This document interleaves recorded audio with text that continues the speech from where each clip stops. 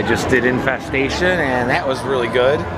Um, one of the guys I knew in there, he recognized me. He's like, Jiggidy. So that was pretty cool. So pretty much now I know people in like all the haunts, except for Hellfest, I think. Um, really good though. Scarecrows did a great job. A lot of hiding spots and uh, banging, popping out of the dark. That was really cool. So yeah, that was a really good hunt. Great job, guys. I'm still alive.